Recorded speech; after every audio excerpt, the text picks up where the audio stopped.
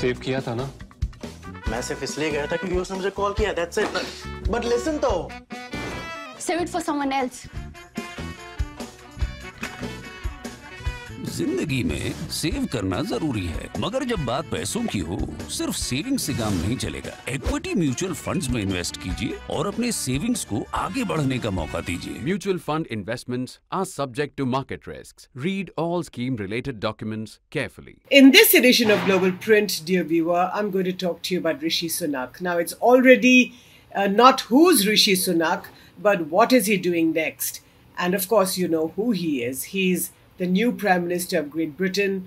He's a practicing Hindu. His parents are Hindu, but his he was born in England. He was born in Southampton in 1980, which makes him only 42 years old, which also means that he is the youngest Prime Minister Britain has had in the last 200 years. Now, I've said already that he's a practicing Hindu, but his grandparents uh, left India in, as long back as 1935, so undivided India. His paternal grandfather left Gujranwala in undivided Punjab in 1935 when he went to Kenya to work as a clerk. Now, that also shows what hard work and meritocracy does to people who really have that burning ambition and that will to make it to the top job in life. But I'm getting ahead of myself, so before I go any further, I'd like to make an appeal to you, dear viewer. Please do subscribe, pay just a little bit for the Print's free, fair, objective, and unhyphenated journalism. You have been supporting us very generously these last several months, these last couple of years of the pandemic. So I do hope that you will click on that button, pay a very small amount of money, it's rupees 159 only, but you become a subscriber and get benefits and privileges that non subscribers don't have. And with this little bit of money, uh, it encourages us reporters in the print to the best journalism that you have now become accustomed to these last several years. So thank you for subscribing and all those who haven't, I would urge you to do to click on that join button.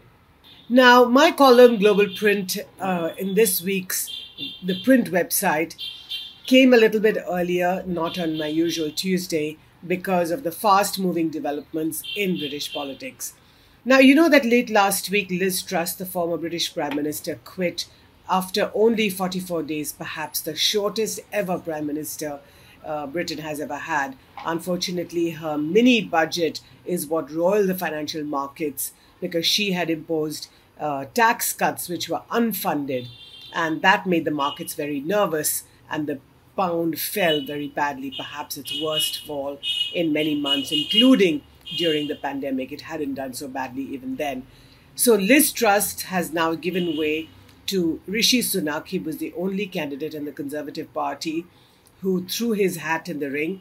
It seemed as if Boris Johnson, the previous Prime Minister who had won the 2019 election, who cut short his Caribbean holiday, actually, since he quit seven weeks ago, uh, Mr. Johnson has taken several holidays. This is one of those. So he cut short his holiday, came back to London, hoping that the Conservative Party would put its weight behind him against Rishi Sunak, who, if you remember, was the Chancellor of the Exchequer under, under Boris Johnson. Now, the Chancellor of the Exchequer, as you know, is the Finance Minister, very, very powerful post. But when he saw what Johnson had been doing, which is by violating all kinds of COVID protocols, this is the Prime Minister no less, by having parties in his home in 10 Downing Street, then at the time, uh, this is during COVID, of course, and at one of the parties, actually, Rishi Sunak was also present. But when things became went from bad to worse, and then there were these sexual abuse allegations on the part of another Conservative MP whom Boris Johnson actually promoted or allegedly promoted in power. Now, Johnson, of course, denies all these allegations. So Rishi Sunak resigned from his from the post as Chancellor of the Exchequer only minutes before Sajid Javid, the gentleman of Pakistani origin, he quit. He was health secretary. That created turmoil in the cabinet, in the government, and Boris Johnson was forced to resign. So, in these last seven weeks, there has been a lot of um, churn, chaos in British politics. Finally, Rishi Sunak, 42 years old, the youngest prime minister that Britain has had in the last 200 years, a practicing Hindu, one who doesn't eat beef, who doesn't drink. And when he became Chancellor of the Exchequer, actually, when he became an MP, he swore uh, his oath on the Gita, on the holy book of the of the Hindus. Now, the question is that who is Rishi Sunak? Uh, there has been a lot of interest uh, about him in these last few days. Uh, Prime Minister Modi, when it was clear on Monday that he was going to become Prime Minister, tweeted that both countries, India and the UK, would work together very closely. He described him as a living bridge between India and the UK, and I will talk to you a little bit about that as well. A free trade treaty is on the anvil. It has not been signed so far, and primarily because of the previous uh, immigrations minister, Suella Braverman, a woman of Goan origin, uh, in Liz Truss's cabinet, who basically said all kinds of things about immigration, uh, about letting people from developing countries into Britain, and that put a spoke in the wheel of this free trade agreement. Now we'll see how that unfolds. But meanwhile, to come back to Rishi Sunak, the world has greeted his elevation to power um, in very complimentary ways. Joe Biden, the US president, has said that he looks forward to working with Rishi Sunak. So, just to tell you a little bit about the backstory itself who is Rishi Sunak? Now, I said already that he was born in England, he was born in Southampton in 1980. His parents were born in East Africa in Kenya and Tanganyika, then called Tanganyika, today is Tanzania. It is his grandparents who came from undivided Punjab in the 1930s. His paternal grandfather moved from Gujranwala, which is an undivided Punjab, a small town just outside Lahore, went to Kenya to work as a clerk, while his maternal grandfather went to Tanganyika. So, uh, so basically, Rishi, Rishi Sunak, if India claims him as one of her own, then I should think that both Kenya and Tanzania, and perhaps even Pakistan, although there was no Pakistan then, there was one country called India. I think all of us have the right to claim this young man who is now the head of a country that is not just a major economy, part of the G7, but also one of the five countries that wields the veto in the UN Security Council. So, one of the five permanent members, the P5, one of the P5 in the UN Security Council, by all uh, accounts, a very, very powerful nation. And at the head of this country today is Rishi Sunak, a British uh, Hindu of Indian African heritage. I think that's a good way of describing him. So, this afternoon, uh, Rishi Sunak went to meet King Charles, who asked him what his plans were about reviving the economy. And uh, it is said that Mr. Sunak assured him that he would work, not just work very hard, but also take everybody along.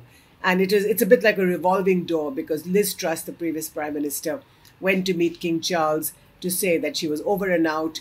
And just as she was leaving, or minutes after she had left, Rishi Sunak went to Buckingham Palace to meet King Charles because the way that it's done in Britain is that it is His Majesty's government and it's at His Majesty's pleasure that the government uh, survives and it works. Now, the king, of course, has absolutely nothing to do with the working of the government. That is the prerogative of the prime minister and his cabinet.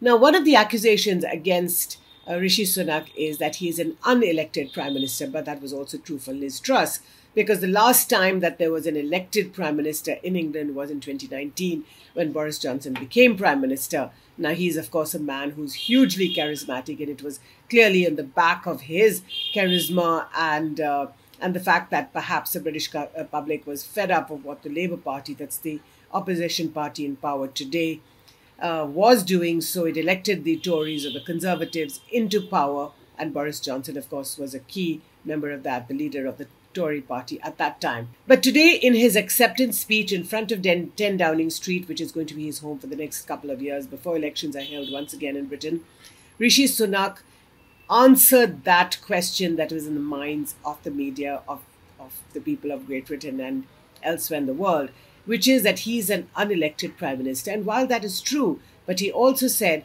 that in 2019, even Boris Johnson will admit that while Mr. Johnson is the one that got the vote, but it was also the people of England who voted the Conservative Party in power. So, what Sunak was implying was that as a key member or as a leader of the party today, he inherited that vote. Now, certainly, he's not going to fall into the trap of people, to, which is to say that uh, that they, that elections should be called immediately. Although the Labour Party today uh, in in polls is doing better than the Conservatives, but the way the rules are in England, the Conservative Party has a right to rule until five years are completed, which will be in 2024, so another couple of years from now. So if Rishi Sunak is able to marshal the party, marshal the, the brains of the party, the energies of the party, bring everybody together, keep everyone together, then he has a fair chance that at the end of these couple of years, that if he was isn't forced to leave before that, like Liz Truss was, he will be able to go to the polls as prime minister. And that is the second theme that he spoke about in his acceptance speech in front of 10 Downing Street, one of unity.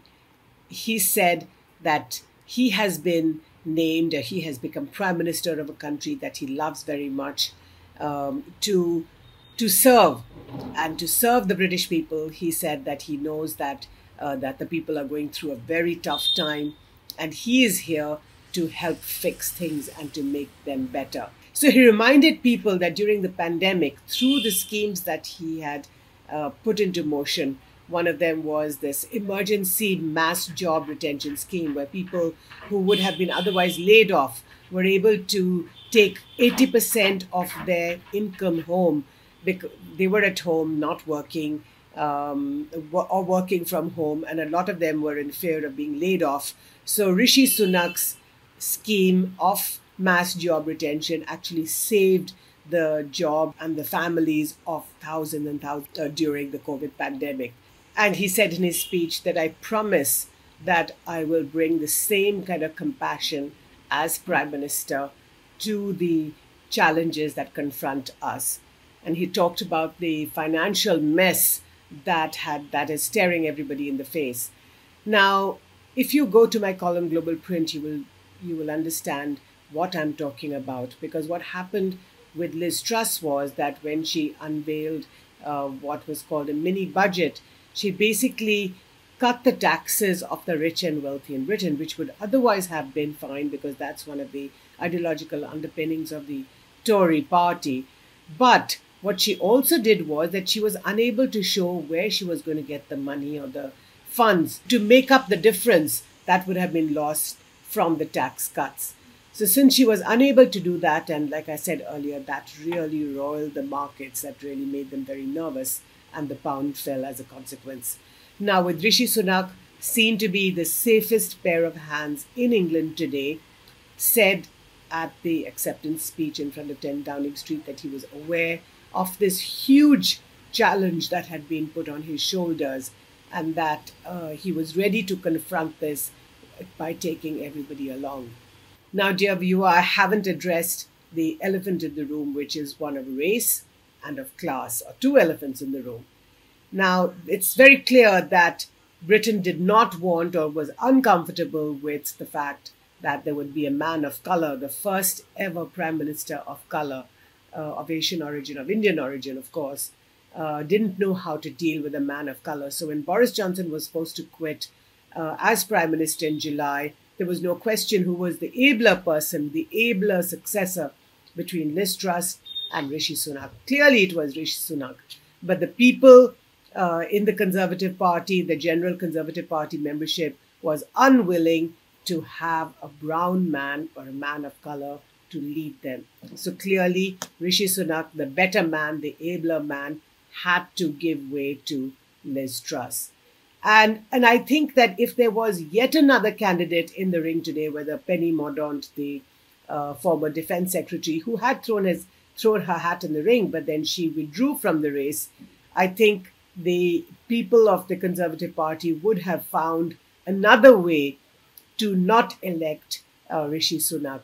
But as it turned out, I think even Penny Mordaunt realized that the Conservative Party was very nervous. Like one of the uh, British reporters said today, it was looking over the precipice of its own oblivion. So if there is a chance today for Rishi, for somebody in Britain to be able to deliver the the Conservative Party out of this mess and to de- deliver the country out of its mess, it's clearly Rishi Sunak. He is a former hedge fund manager with Goldman Sachs. Uh, he's uh, he went to some of the best schools in England. He went to Stanford University, where he met his wife Akshata. She's the daughter of Narayan Murthy, an Infosys founder. Very rich in her own independent estimation. In fact, we, nobody knows how much they're worth, but it's said that both of them together perhaps um, have more money than, than the king or the monarchy. Now, that's saying quite a bit. So, all in all, I think this interest in Rishi Sunak will remain for a few days, of course, about who he is, where he's come from. He hasn't come from very far, he's come from Southampton. But the interest will remain. But the big question will he be able to deliver Britain from the financial mess that it finds itself in today? So keep watching, dear viewer, and I look forward to hearing your comments uh, on this video. And I will keep updating you and bringing you all the best stories um, in the world of uh, foreign affairs to you in my column, Global Print. Thank you again for watching.